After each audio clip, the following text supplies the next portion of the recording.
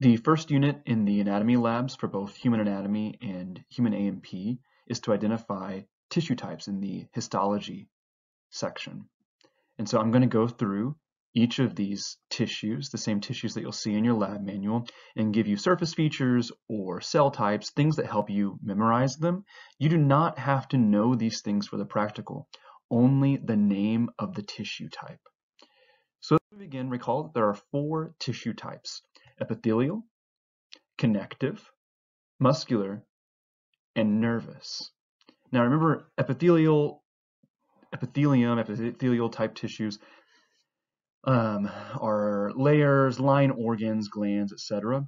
The first we start with is simple squamous epithelium. Simple describes the structure. So the cell arrangement, the opposite of simple would be stratified.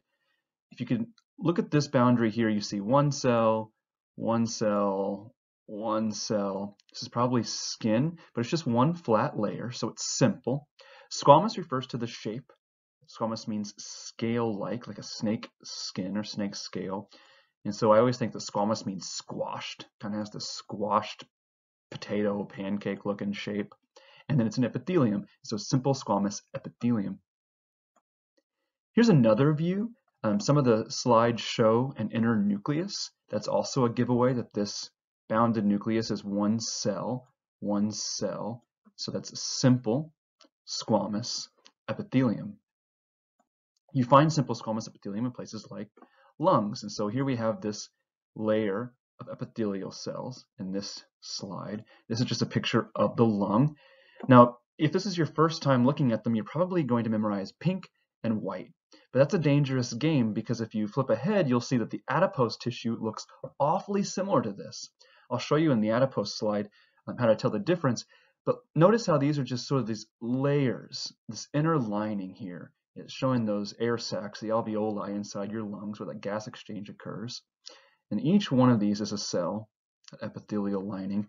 But the whole slide, you would simply state lung.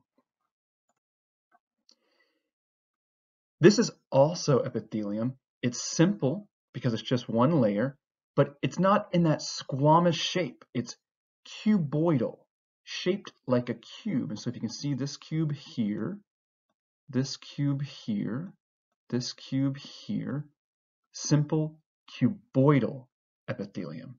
So they kind of run in these rows if you look at these types of squares. But you see the nucleus in the middle that shows you where each one of these cells are, and they're bound by this square. So simple cuboidal epithelium. This is the thyroid. If you remember the thyroid is that bilobed organ, um, sort of anterior to your trachea, larynx, and your neck.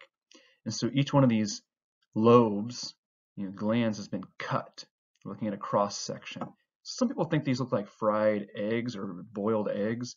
I don't know if I see that or not, but I just remember that when you see the thyroid, you see this sort of dense packet of material, some open space, this rounded membrane here, and it's bound by that epithelial cell in there. You can see them there. Um, but this is the thyroid gland. Here, this one is pretty distinct.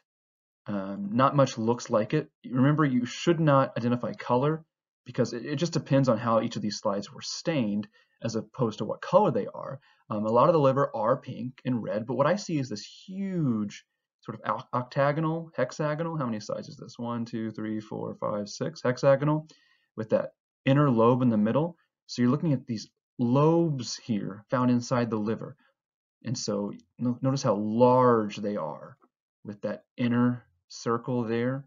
This is your liver slide. Up next is the pancreas.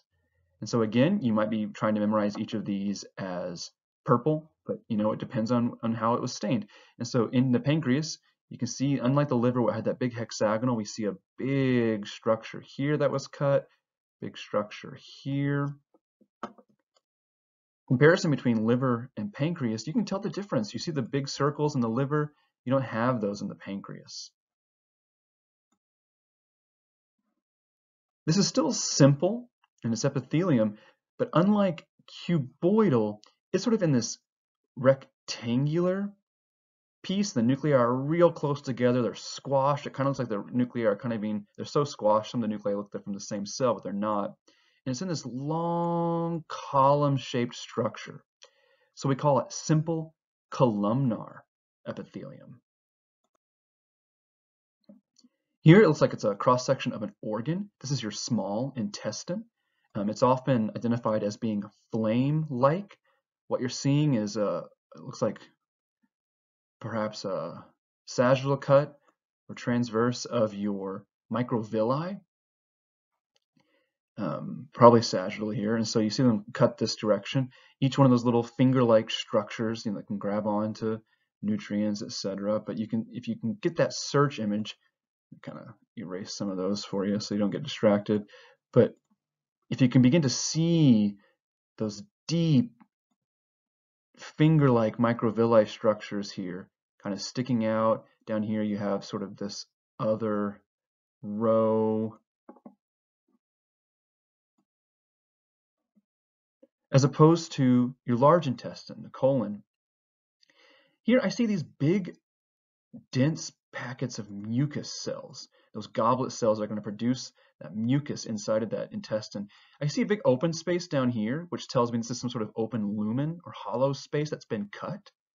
And so really the way I always identified large intestine was just the packets of goblet cells here. Um, it's not, if you go back to the previous slide, that, uh, maybe not, we'll see that the microvilli had those big finger-like structures, whereas the large intestine does not have such things.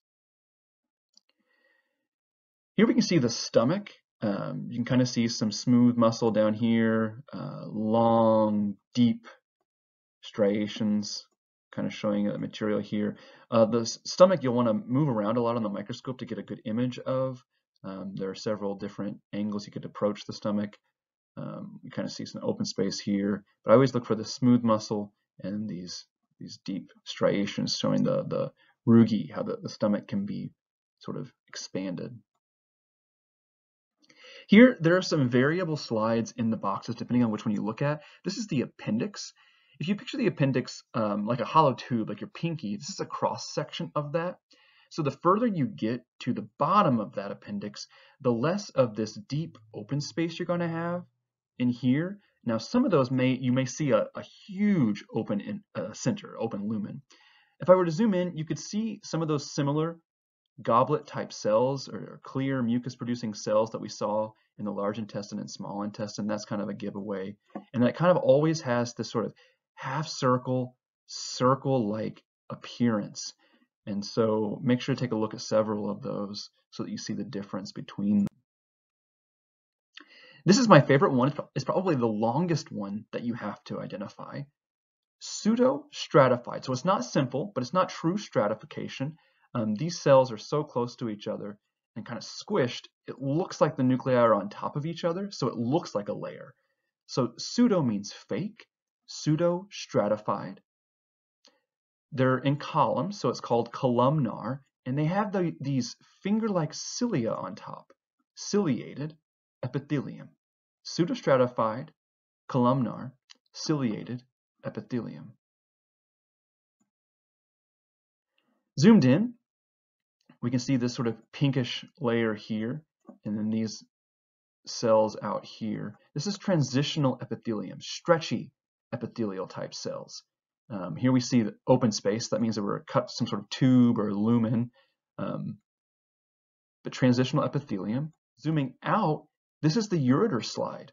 So the tube that goes from your kidney to your bladder, the ureter. Zoomed in, I'm asking for the epithelium, transitional epithelium. Zoomed out, I want the ureter. Here we see two big open spaces, two big open spaces. So we're probably on the edge of some um, open organ, which is the bladder, urinary bladder to be specific. And we see some of that transitional epithelium, maybe some smooth muscle. But transitional epithelium makes up the stretchy organ, urinary bladder. This is zoomed in. Now here, unlike the first simple, this is actually in layer. I see a layer here, layer here, layer here, layer here, layer here, a layer here. You get the idea, right? This is layers, so it's stratified. Stratified. Remember the first was simple, squamous epithelium, and so now we have stratified epithelium. If you know, we're zoomed in here, so we're asking for that, that particular tissue type. Zoomed out, you know, we'd see the layer of skin, but this is zoomed in, and so it is stratified. Zoomed out, here we see the flaky layer, so the upper layer kind of flaking away, those dead keratinized cells leaving. This is skin. Some of your slides will say skin of foot, but we're just looking for skin. Or skin of foot, you know, it doesn't matter. Here we also see a stratified epithelial type, but what the big giveaway here is this big follicle right here. This is the scalp hairs growing out of those follicles. No, not everyone will have a hair. Depends on how the slide was cut, right? But this is that scalp. Usually we'll try to find a hair type, but you need to look at several of them. You see those cell types and you see the hairs there. Scalp. This one's a hard one. This one gets a lot of people, especially if it is positioned wrong on the microscope. You see an open space, which tells me tube or opening. Um, I see a layer of you know stratified epithelial. But I see this big gland, perhaps maybe a salivary gland. You know, if we were to zoom over, we'd see some maybe muscle over there, uh, cartilage. This is the esophagus. The esophagus. So that's kind of a bad drawing, but the esophagus. So I look for this layer as you look for the opening, and then I look for glands of some sort. Now the esophagus if I can kind of erase it, if you look through the slide boxes, you'll see the esophagus won't always be this nice and perfect. And in fact, a lot of them kind of are kind of rough like that. It depends on how the slide was made.